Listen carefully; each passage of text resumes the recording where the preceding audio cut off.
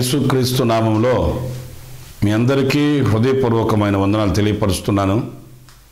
ప్రభు కరుణ కటాక్షములు మీకు తోడుగా ఉండునుగాక. పరిశుద్ధ గ్రంథంలో నుంచి ఒక చక్కటి మాట మనం చదువుకుందాం. మీకా గ్రంథం ఏడవ అధ్యాయం ఏడవ వాక్యం. రక్షణకర్తయగు నా దేవుని కొరకు నేను కనిపెట్టి ఉందును ప్రియులారా దేవుని కొరకు కనిపెట్టుకొని ఉండడం అనేది చాలా శ్రేష్టమైనది చాలా విలువైనది కూడా. ఎందుకంటే దేవుని కొరకు కనిపెట్టుకొని ఉండడం అనేది ఎంతో విశ్వాసంతో కూడింది దేవుని మీద నమ్మకంతో కూడింది. ఆ సర్వశక్తి కలిగిన దేవుడు నన్ను చూస్తున్నాడు నా ప్రార్థన ఆలకిస్తున్నాడు ఆయన ప్రత్యుత్తరం ఇస్తాడు ఆయన నా కొరక ఏతించి నాకు ఆయన ఉపకారములను చేయుటంలో వెనకంజ వేసే దేవుడు కాదని విశ్వసించినప్పుడే మనం కనిపెట్టుకొని ఉండగలుగుతాం. ఈరోజున అనేక మంది దేవుని కొరకు దేవుని కార్యముల కొరకు కనిపెట్టుకొని ఉండలేక వాళ్ళ ఆలోచనల మీద వాళ్ళ స్వశక్తి మీద ఆధారపడి అలసిపోతున్న వారిని మనం చూస్తున్నాం. అన్నీ కూడా త్వరితగతిలోనే అనుకున్నప్పుడే సాగిపోవాలి జరిగిపోవాలి. వాటిని గూర్చినటువంటి ఆశలు నెరవేర్చబడాలని తహతహలాడుతున్న రోజులు కనబడుతున్న రోజులు. ప్రియా దేవుని బిడ్డలారా పరిశుద్ధ గ్రంథంలో ఒక వాక్యాన్ని మనం చాలాసార్లు చదువుకుంటుంటాం. అదేంటంటే ఓ సమాజ మందిరంలో ఓ తల్లి ఆమెకి ఇంచుమించు పద్దెనిమిది సంవత్సరాల నుండి ఒకే బలహీనతతో బాధపడుతూ ఓ అపవిత్రమైన ఆత్మ ఆమెను పట్టి వేధిస్తూ ఉంటే ఆమె నడుము వంగిపోయిన పరిస్థితుల్లో పద్దెనిమిది సంవత్సరాల నుండి ఆమె ఆ సమాజ మందిరంలో ఉన్నట్లు వాక్యం చెప్తుందండి. ఇక్కడ కాస్త మనం ఆలకించాలి.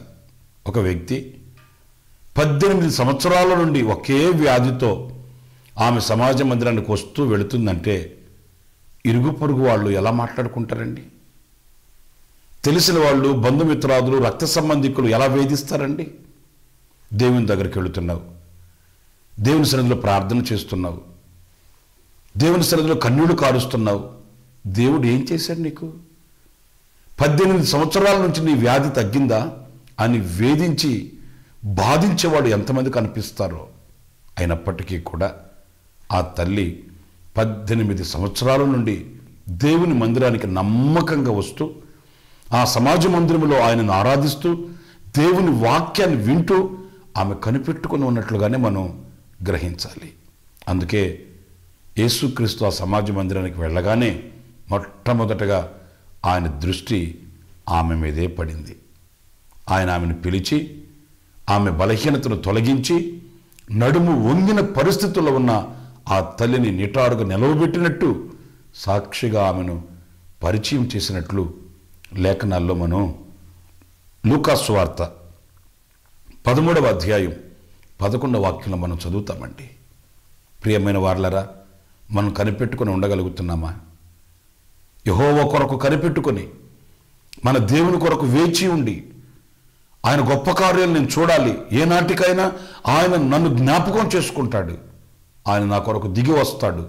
నా కొరకు అద్భుతాలు చేయగలిగిన వాడు తప్పక నా కొరకు ఆయన కార్యసిద్ధి కలుగు చేస్తాడని విశ్వాసంతో మనం కనిపెట్టుకొని ఉండలేకపోతున్నాం.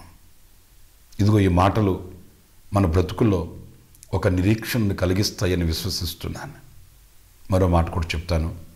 అదేంటంటే దేవుడు అబ్రహామును పిలిచాడండి. అబ్రహామును పిలిచినప్పుడు ఆ పిలుపునకు అబ్రహాం లోబడి బయలుదేరి వస్తున్నప్పుడు అబ్రహాముతో కూడా లోతు కూడా బయలుదేరాడు. వారిద్దరూ కలిసి ప్రయాణం కొనసాగించారు. దేవుని ఆశీర్వాదాన్ని పొందుకున్నారు. దేవుని దీవెనలు అనుభవించారు. ఎంతవరకు వాళ్ళిద్దరూ ఆశీర్వదించబడ్డారంటే వారిద్దరూ కలిసి ఒకే ప్రాంతంలో నివసించలేనంతగా దైవ దీవెనలు వాళ్ళు పొందుకున్నారు. కానీ ఆశ్చర్యమైన సంగతి ఏంటంటే లోతు పనివారికి అబ్రహాము పని వారికి మధ్య చిన్న కలతలు ప్రారంభమయ్యాయి.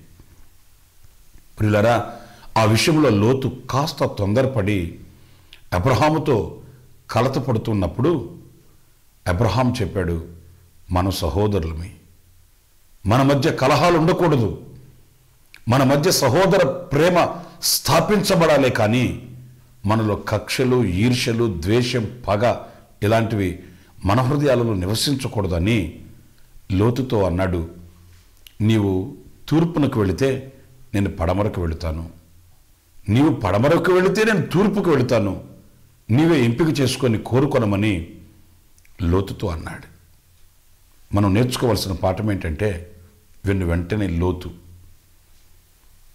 ఇది సబబు కాదని నాకంటే పెద్దవాడు నీవే గనుక నీవే ప్రార్థన చేసి నాకు ఒక తిన్నని మార్గం చూపించమని అడిగినట్లుగా లేదండి. అబ్రహాము చెప్పగానే లోతు తన కన్నులెత్తి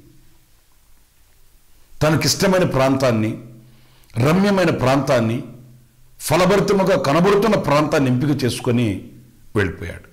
లేఖనాల్లో చదువుదామా? ఆది కాండం పదమూడవ అధ్యాయం పదో వాక్యం. లోతు తన కన్నులెత్తి యోద్దాన ప్రాంతం అంతటిని చూచెను అని రాయబడి ఉందండి. తన కన్నులెత్తి చూడమని ఎవరు చెప్పారు?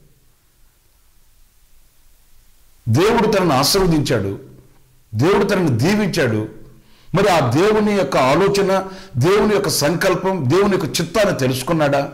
లేదండి. అందుకే సస్యశ్యామలంగా ఉన్నట్లుగా కనబడుతున్న ప్రాంతాన్ని ఎంపిక చేసుకుని వెళ్ళాడు కానీ ఆశ్చర్యమైన సంగతి ఏంటంటే దేని మీద ఆధారపడి దేనిని నమ్ముకొని ఏ మందను ఏ పని వాళ్ళైతే నాకు శ్రేయస్సు అనుకొని సహవాసాన్ని విడిచిపెట్టి వెళ్ళిపోయారో లేఖనాల్లో మనం చదివితే ఆ కాపరులు కానివ్వండి ఆ మందలు కానివ్వండి సొద్దమగుమర పట్టణంలో లోతుతో కూడా లేవండి. మరి ఏమయ్యాయో కూడా తెలియదండి. పిల్లరా దేవునితో దైవ సేవకులతో దేవుని ప్రజలతో సహవాసం ముఖ్యమా? ఆస్తులు ముఖ్యమా? లోతు తమ మందని తమ కాపర్లని ఆధారం చేసుకుని వెళ్ళాడు. అవి ఏమయ్యాయో కూడా మనకు ఆచూకీ కనబడదండి. ప్రియ దేవుని బిడలారా కానీ అబ్రహాం దేవుని కొరకు కనిపెట్టుకుని ఉన్నాడు. దేవుడు నన్ను పిలిచాడు. దేవుడు నన్ను ఏర్పరిచాడు.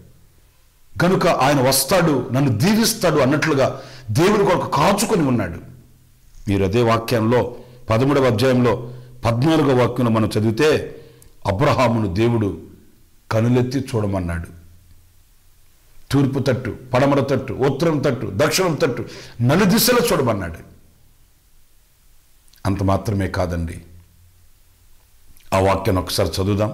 లోతు అబ్రహామును విడిచిపోయిన తర్వాత ఇదిగో నీ కన్నులెత్తి నీవు ఉన్న చోటు నుండి ఉత్తరపు తట్టు దక్షిణపు తట్టు తూర్పు తట్టు పడమర తట్టును చూడుము.